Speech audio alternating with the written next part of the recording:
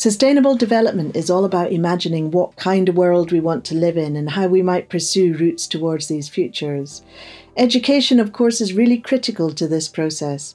We talk about sustainable development providing the knowledge, the skills, the capacities, and the competencies to support a real transformation towards sustainability.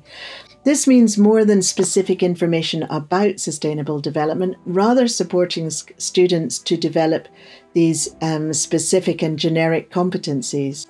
The latter includes systems, critical future thinking, a capacity to work in an interdisciplinary way, inter and intra personal competencies and competencies for strategic working and also for normative and cultural attributes.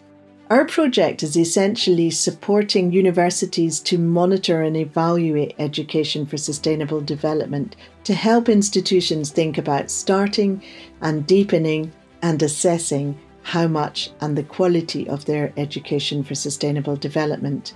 So, firstly, we're assessing current approaches and tools Secondly, developing generic tools and developing a framework.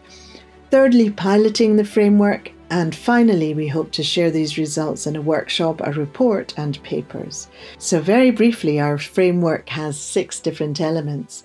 The first part is saying if you are an institution, a program, a module, that you start by contextualizing education for sustainable development where you are. This is going to look very different if you're an art college from a um, vet school, for example. Secondly, it's about starting to monitor baseline, to start to map what you already have, which allows you to make plans for where you would like to go.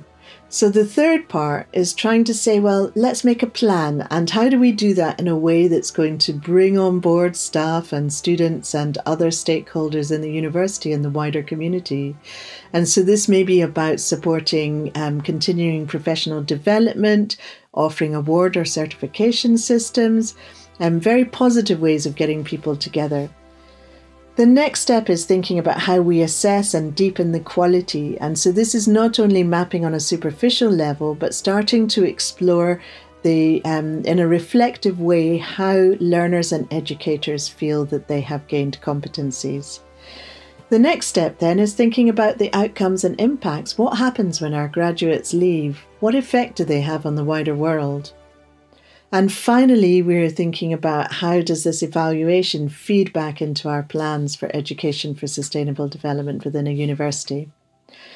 Uh, we hope to see many of you in our final workshop, and we hope that we can support people's journeys towards education for sustainable development.